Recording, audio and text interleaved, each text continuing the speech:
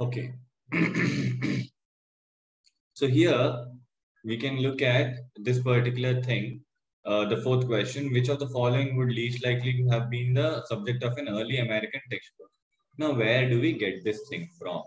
We can understand that people have talked about these are the essential ingredients and these are the goals that they've had.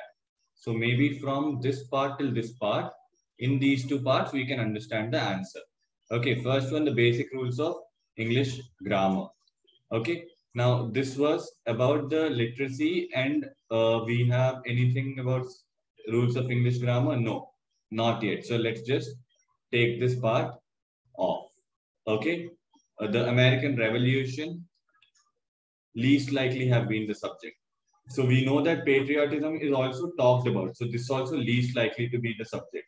Now here we can clearly see that he's saying that a goal that took precedence over knowledge as occupational training. This occupational training is nothing but vocational education.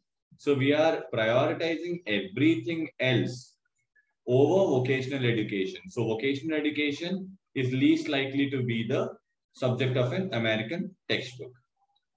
All right. I hope all of you are clear with this answer. All right.